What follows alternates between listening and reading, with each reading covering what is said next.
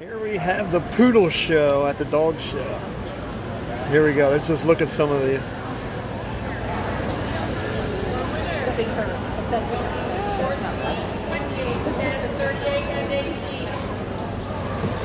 I